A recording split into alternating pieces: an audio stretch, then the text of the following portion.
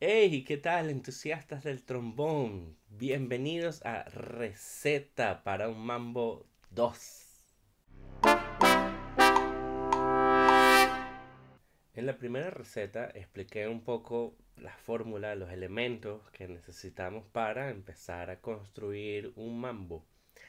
En la receta número 2 será como una especie de variación, un pequeño elemento extra a nuestra receta. Volvemos a la misma progresión armónica de primero menor, cuarto menor, quinto mayor de acorde dominante, regresando al cuarto menor al primero menor, lo que es igual a la menor, re menor, mi 7, re menor, la. Esta vez quiero que escuchen el movimiento clásico del bajo. Este puede variar, tiene bastantes variaciones, pero este es como el más estándar, clásico, que marca las síncopas.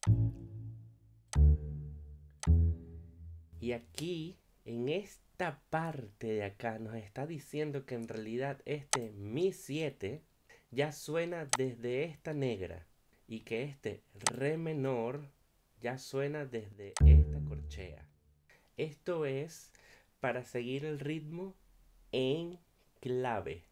Y esta es la pequeña gran diferencia. Estamos anticipando al compás que está escrito la tercera mayor del mi dominante del quinto grado. Esto sonaría de la siguiente manera.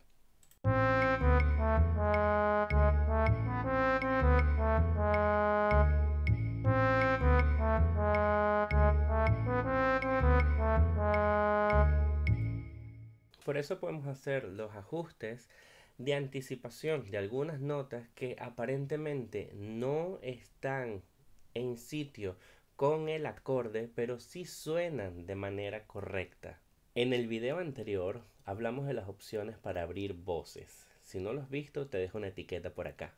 Yo estoy sugiriendo este mambo arrancando la melodía desde la tercera menor hacia la tercera mayor. Una melodía que arranca desde este do natural como tercera menor de la menor hasta el sol sostenido como tercera mayor de mi 7. Y después sigue el mismo patrón de tercera a tercera, solamente que una menor y la otra mayor, cambiando un poco el patrón rítmico, pero en realidad es muy similar. Si ves las subdivisiones, simplemente separamos este do con puntillo a un do negra y este sería el puntillo. Pero no es la única opción. ¿Qué pasa si comenzamos desde la tónica, desde la raíz? Comenzamos con la. Fíjate ahora, si yo comienzo desde la tónica de la, el camino me lleva también a la tónica de mi. Aquí tenemos la y vamos hacia mi. La y vamos hacia mi. Siempre pasando por alguna nota del re menor. Esta es la tercera menor del re. Aquí está. Y aquí está. La melodía lógica que construimos pasa por las notas principales de los acordes. Si abrimos la segunda voz desde la tónica, nos va a quedar la voz que sugerí en un principio, que es esta tercera. Si abrimos desde la tercera, o sea, comenzamos la melodía desde la tercera, aquí estamos comenzando la melodía desde la tercera, cuando abrimos la tercera de Do, va a ser la quinta del acorde. Mi que es la quinta de La menor, desemboca en Si natural, que es la quinta de Mi 7. vamos a escuchar las diferencias porque muchas veces la decisión de con qué nota comienzo va relacionado más con el timbre que estoy buscando y ciertas tonalidades se desenvuelven mejor en algunos timbres y en otros no. En los próximos mambos que vamos a cocinar, van a encontrar que no siempre voy a poder hacer la misma línea o la misma armonización depende de la tonalidad. En algunos casos comenzaré por la tónica y en algunos casos comenzaré por la tercera para no expandir tanto el registro. Pero eso en las próximas semanas. Escuchemos cómo suena esto.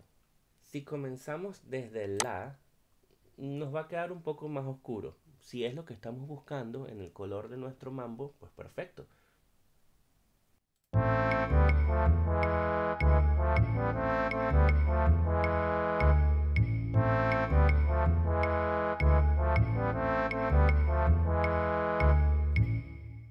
En cambio, la que yo sugerí, a mí me gusta más porque le da un poco más de brillo cuando abre.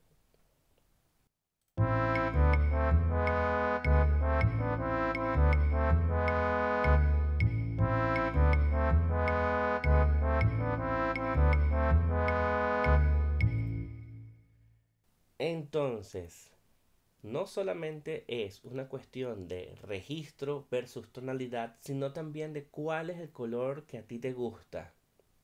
Es personal.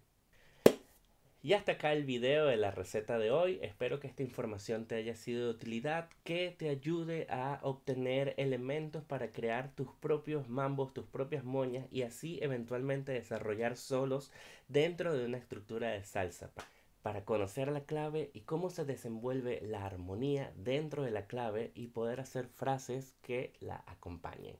Hasta la próxima.